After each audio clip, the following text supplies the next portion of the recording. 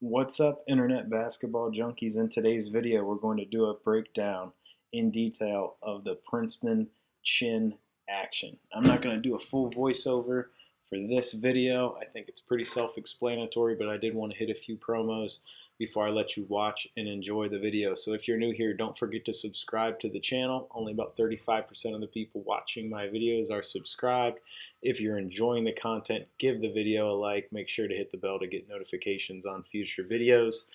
Check a look at my Sellfy store. The link is in the description. I have lots of detailed basketball coaching content for you to purchase. I have thorough materials on many topics, including the circle motion offense, a diamond press, half court 131 trap, fundraising for high school basketball, how to run a strength training program, how to build a youth program, and much, much more. Also, take a look at my newest product, which I call My Portfolio, which is not only what I would present to an interview committee to interview for a high school basketball coaching job, but also every supporting document we use to run our program this includes outlines for how to run fundraisers, templates for practice plans, guides to our offensive and defensive schemes, how to run a preseason meeting with your parents, and much, much more. So check out the link in the description to see all the content that comes in my coaching portfolio that's now for sale.